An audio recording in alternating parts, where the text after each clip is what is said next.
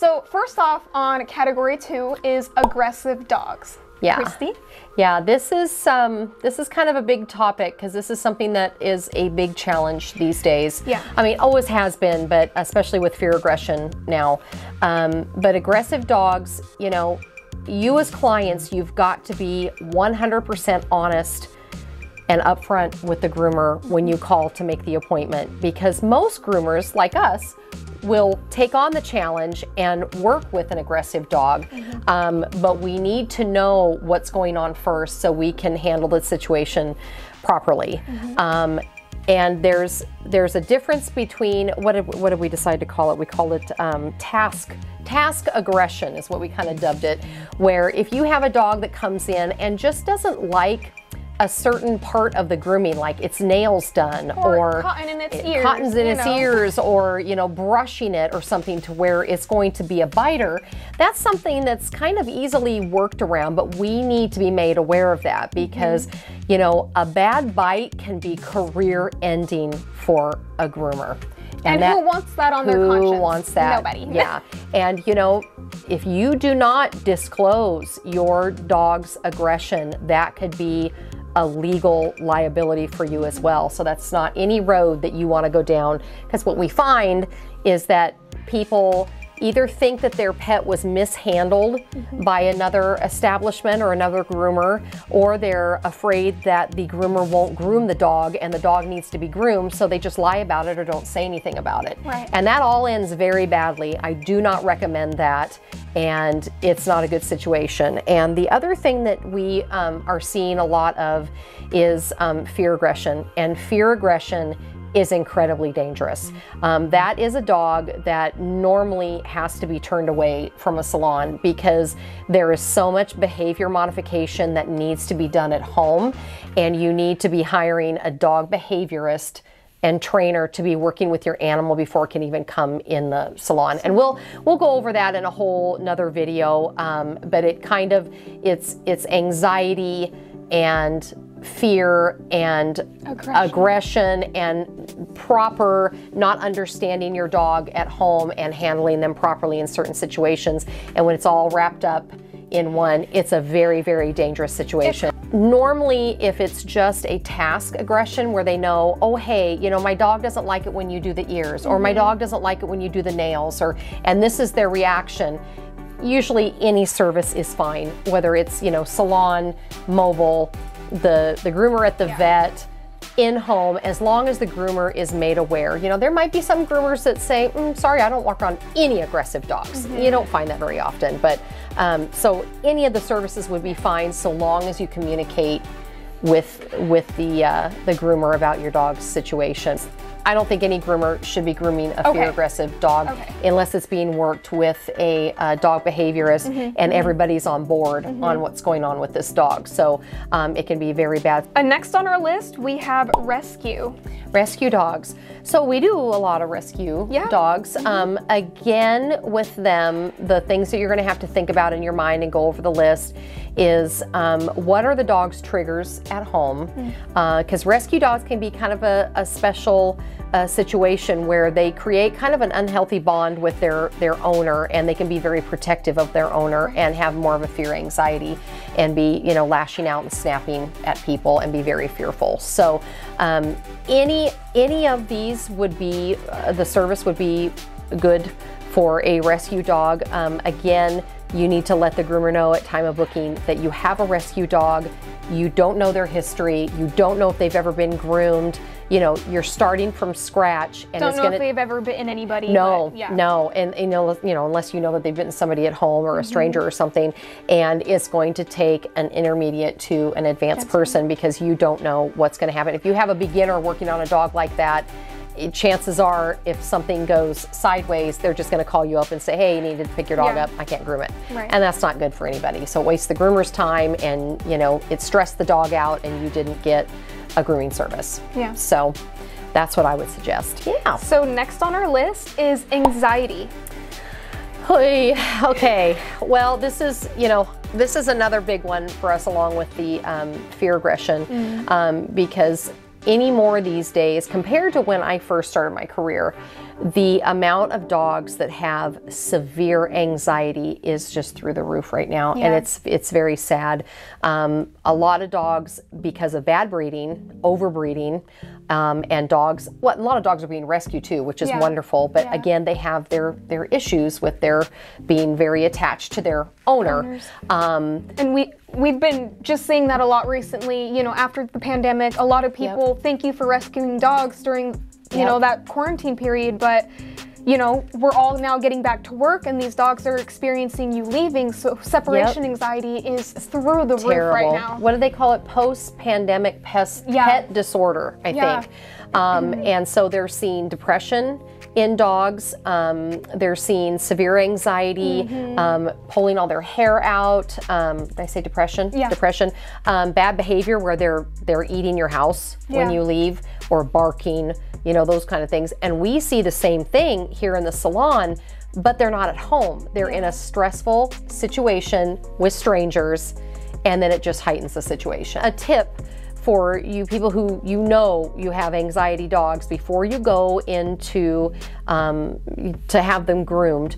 Um, really good exercise before they go in, and it's it's anxious, reactive energy. Mm-hmm. And if you can, you know, get that out so they're using the thinking side of their brain and not just the reactive mm-hmm. side, that's going to make it easier for everyone Yeah. involved. And, you know, we've talked about this a lot in the salon how, you know, us girls really feel like working on a high anxiety dog is is really difficult and it's very very dangerous because the dogs are so unpredictable whether they you know then there's nothing you can do to calm them or talk them down when they get in that level all you can do is just shut the whole situation Yeah. down because they'll be standing there perfectly still and then all of a sudden they just decide hey i'm out of here Yeah. and they just go to try to bail off your table um, or you'll be you know scissoring on their face and they'll be still and then all of a sudden again they have that moment of i'm out of here Yeah. and they're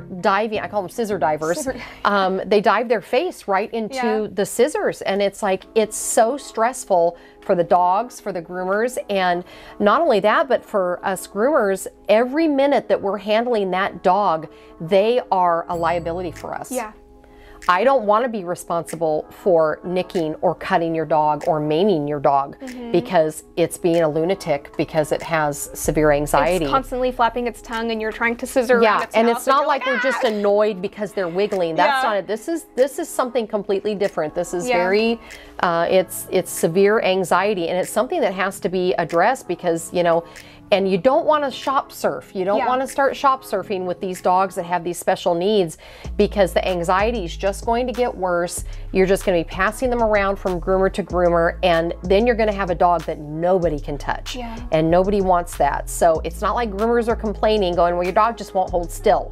That's not it. It's a very, very serious situation, Mm-hmm. and dogs that have severe anxiety can also become fear aggressors and they can be very dangerous biters because you never know what's going to set them off, Yeah. and all of a sudden you've got teeth in your face.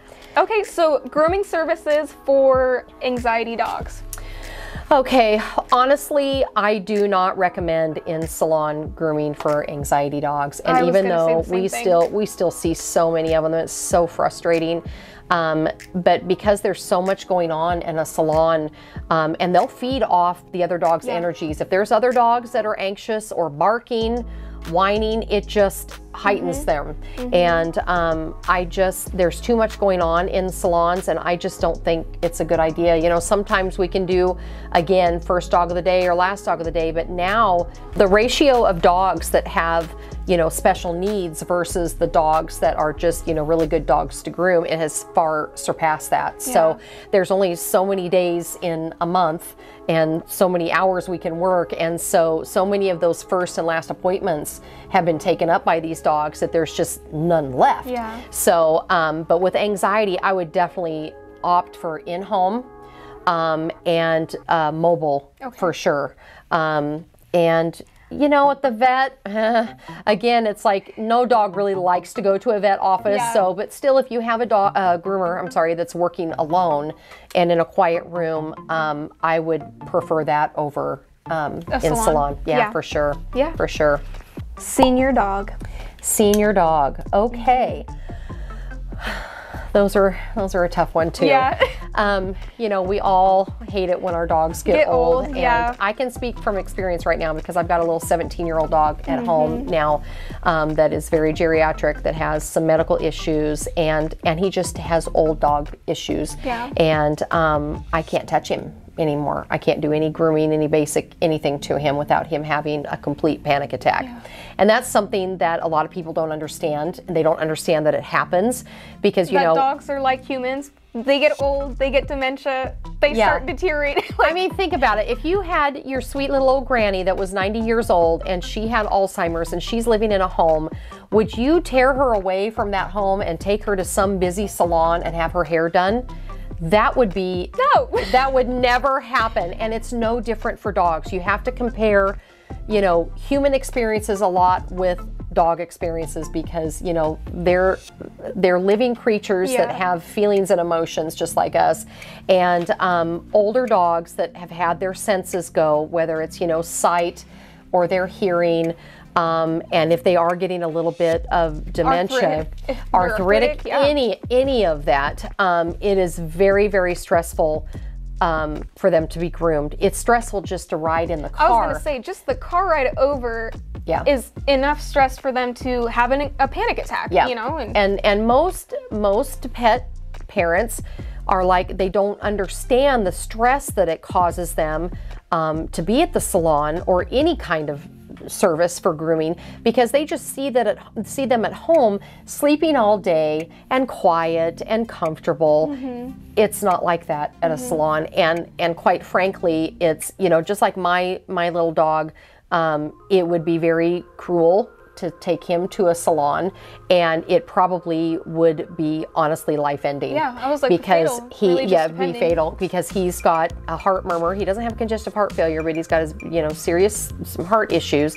And you get that stress level high enough and they're either going to faint or it, they could go into cardiac arrest. And so, grooming geriatric dogs is a very, very sensitive subject. It mm-hmm. takes an intermediate to advanced groomer. Yeah. And, you know, we have so many clients that are in denial about their dogs getting old and they still come to us with a list of demands of the haircut mm-hmm. and i'm like listen none of that's going to happen they're going to get what they get and Yeah. if they are having geriatric panic attacks while they're here and they're fainting passing out like who cares about the haircut like at this point they get their basic needs. We needs want them to be comfortable. we want them to be comfortable and the basic needs like for my dog making sure his nails are done his little bottom is shaved so there's no messes getting stuck there and that he you know he can see uh, get the little crusties out of his Right. eyes and trim his bangs that's it he doesn't get baths anymore he can't handle any of it and it is not worth risking your dog's life to get a haircut Yeah. it's just not. So honestly, I do not recommend um, salon grooming for a geriatric dog that has those needs that doesn't do well um, or has you know severe medical issues. I would definitely um, recommend the groomer that works in the vet office because there are times where if they get too worked up that they need a little puff of oxygen or something or the vet can be right there if there is a cardiac moment or anything else whether it's tracheal or, or whatever just due to, to high stress and high anxiety. Um, or you can um, opt out for a mobile groomer if they do work on geriatric dogs and uh, you know let the vet know that hey i'm grooming your client it's a geriatric client, and I'm going to be parked in your parking lot, and I'll be there with the owner. And if there's an emergency, we can just run through the door at the vet and get help. But Yeah. that's that's about all I would recommend for that. That's kind of a Yeah. it's a touchy subject for me because people just try to push and push and push about Yeah. getting these old dogs done, and I, sorry, I decline. Next on our list is medically fragile dogs. Yeah. Those dogs intertwine all the time. Oh, so yeah. We just discussed about senior dogs, but a lot of it also comes down to medically fragile as well. Yeah. So one, again Yeah, again ahead. just have really good communication with um, i think the medically fragile any of the services would be great of course it depends on what the medical situation is if it's something that can be life threatening always opt for the groomer that's in the vet office and opt for that mobile groomer that maybe would park Mm-hmm. in the in the vet parking lot Um, but we get a lot of dogs that have just recently had a surgery, Right. Um, or they have disc issues in their back. They have uh, collapsing tracheas. They have hip dysplasia. They've blown out their knees. They have bad meniscus and um, you know patellas. Yeah. And those are all things that are really important for us to know. You know, when they have these issues, there's certain ways that we have to handle these dogs, and we need to be made aware because, you know, even like if it's a very serious disc issue, you know, they could have a problem if they're starting to flail around and we don't understand that they have a back Yeah. issue. Bam, something can happen and they're paralyzed. I mean, But it takes, you know, a, a seasoned groomer, it a does. groomer with it Again, experience you want intermediate to advanced groomer that understands, you know, the safety of handling a dog Yeah. and understands what these medical issues are and have worked with many of those dogs and knows the ins and outs and what to do and what not to do. Right. And then like we say at the end of the day with all of these categories, you know, they get what haircut they get. And, you know, even though we do our best to do a certain look, Yeah. um, but at the end of the day, they just want to be clean. The nails need to be on the sani, that kind of thing. And that's so just throw away that list of Yeah. haircut demands because we get through it best we can. So I guess we kind of wanted to talk about um, dog groomers in general because now we've gone through and and made the list of your potential dog's needs. yeah. And then we told you if it was an advanced, you know, or intermediate For groomer. some of 'em. For some of them, you know, that that needs to be. Um, you know, we have terms in the grooming industry to describe, you know, certain groomer skills. Uh, baby groomer is definitely um, a brand new groomer that's been grooming usually less than two years. Mm-hmm. And they know the basics, you know, and they're still learning just their craft. And a lot of them don't know how to handle dogs with Behavior. behavioral problems or with medical problems.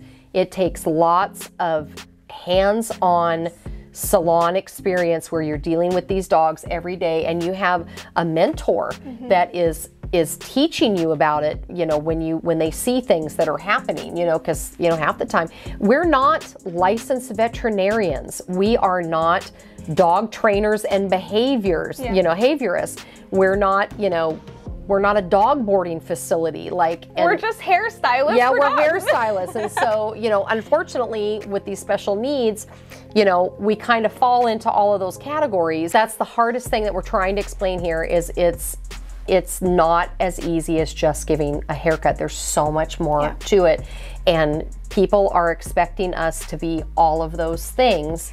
And For that is pennies on the it's, dollar. it's completely unrealistic. Yeah. And when you do have a groomer like that, that not only is high skilled in, you know, their styling skills, but knows how to look out Yep. for all of these other problems, it's not going to be cheap. Yeah. And it shouldn't be cheap because that all the continuing education and all the years of experience, that means something and it has value. Because we've spent three hours of our time and because your dog has these special needs, and maybe we couldn't give your dog the haircut that you wanted, or we couldn't get the service completed, doesn't mean that you are not going to pay for it. Right. And we've run into that too, where they're like, well, you didn't do anything.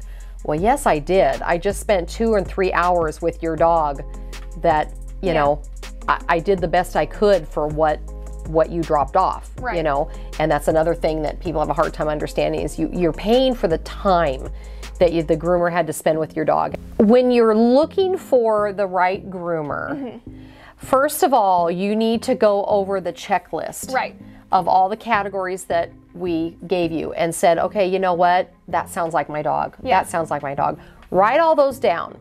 Then you want to get referrals for whether it's a mobile service or a salon or, Or a a, a groomer that works at a vet. And if you put it out there on, you know, like a Facebook, um, like Your a neighborhood, neighborhood- page yeah, or yeah. or whatever, or even talking to people in the dog park or whatever, if you hear the same name coming up over and over, that's a pretty good indication that that's where you need to be. So don't go jumping on the internet Google, looking yeah. for reviews and stuff. That's Yeah. not where you want to be. You want to hear word of mouth. But first, you need to go through all of these categories and make sure that you're you're matching the right service to your dog's needs. Then you can find the groomer within those services. So, um, and find out and ask the right questions on how many years they've been grooming and if your pet is even something willing that they'll they'll be willing, you know, to work on. And um, something we'll talk about in another another video. I know I'm going on and on. No, you're good. Edit a lot of this, um, but there is a groomer drought. Uh, n- no joke, it's a serious problem. Um, groomers have absolutely disappeared, and um, there was a big groomer drought before COVID happened, and then after COVID, it's even worse. There's so many salons that have closed their doors, sold, gone out of business. You know, groomers that have decided to stay home with their children or go back to school for And where do something the- different. those dogs go? Or and where do those dogs go? I mean, because each groomer can have over 200 clients. I mean, that's a lot of people that need to find other groomers. So finding a good, reputable groomer um, and somebody who's willing to work with your special needs dog. Um, you need to stick with that person and you know you, you need to take care of each other and they're going to be more expensive but the alternative is not a great one Yeah. so um, i guess that's our best advice to you is to take care of the groomer that you've got if you've got a good one Yeah. um, because they're they're dropping off like flies, Flies, yep, that's true. All right, you guys, I hope you found this video helpful. Like we said, we are always here to help answer any questions that you guys may have. So definitely leave those in the comment section down below or hit us up on Instagram. Like we said, we just love to hear you guys, your guys' um, comments, questions. Yep, just talk yep, to us. The input. Yeah. yeah.